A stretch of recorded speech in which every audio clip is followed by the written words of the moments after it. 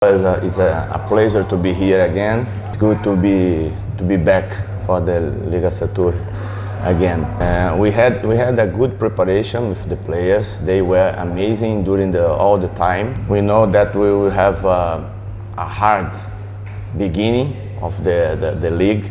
We will, we will play seven seven matches away in a row, but the players never complain and they, they are doing their best to to do a great uh, beginning for the league. Besok adalah pertandingan yang sangat penting buat kita semua.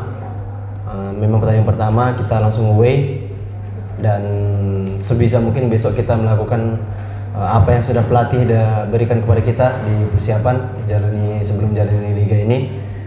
Harapannya semoga besok pertandingan perdana teman-teman semua fokus bisa menjalankan yang terbaik dari pelatih instruksi dari pelatih juga dan kita meraih hasil yang uh, kita inginkan.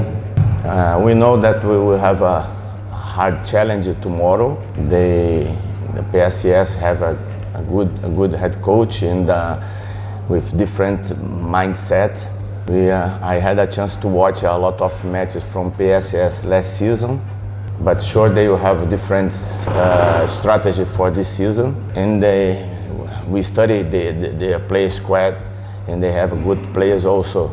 But we don't, we, we didn't play the Piala President, but we, we had a chance to do a great uh, friendly match and training sessions.